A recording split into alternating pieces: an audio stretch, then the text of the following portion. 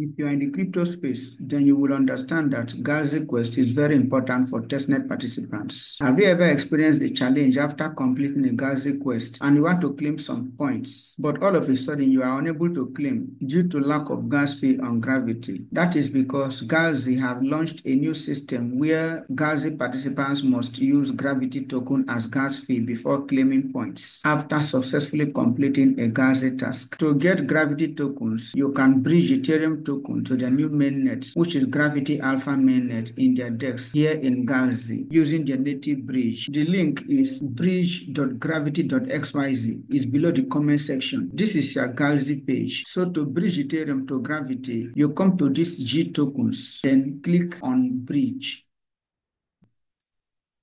The link is bridge.gravity.xyz. It's below the comment section. Now enter the amount of Ethereum you want to bridge to Gravity Alpha mainnet. So let me use 0.001. I don't have any Ethereum in my wallet, but I just want us to see the gas fee. Now look at the gas fee. The gas fee for bridging Ethereum to Gravity mainnet through the native bridge, which is the official bridge, is very expensive. So I cannot go with this. Let's look for an alternative. Alternative is to buy G token on chain. So here we connect our wallet. My wallet is connected. We select Ethereum. Here we want to bridge some Ethereum to Gravity and I will choose as max.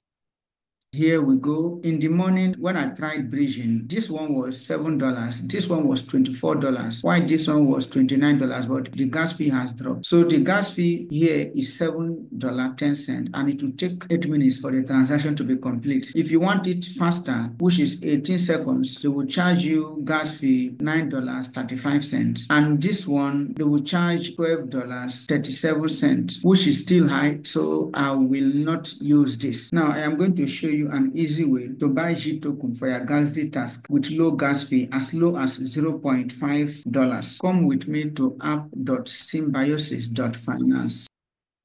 The link is below the comment section. First of all, connect your wallet after connecting your wallet, select swap because we want to swap any token that we have fund to Gravity. I have funds in Taiko, Polygon, and Arbitrum, but I'll be using Arbitrum. So after selecting Arbitrum, here you need to select where you want to swap the tokens to. Here you can choose any tokens that you like. So I select G token. I enter the amount that I want to swap, 1.50. Switch network to Arbitrum 1. Now I approve the transaction, approve Arbitrum 1, and confirm the transaction, and then go ahead and swap. This transaction has three stages to be completed. The stage one is sending the transaction to Arbitrum 1. Stage two and the stage three is getting the gravity token. So I confirm the transaction. We're waiting for stage two. Okay. Now it is in stage three. G token has arrived. So this is how you get gravity token for your Galxe Quest with low gas fee. If you are watching this video on Facebook or TikTok or Telegram, then click the link to take you to YouTube. This will be the end of this video video. If you find any value in this video tutorial, then kindly click the subscribe button and turn on the notification bell so that if any new video is released, you will always be the first to see. Also like and drop your comment at the comment section. You can also join our telegram group for more updates. Thank you and bye for now.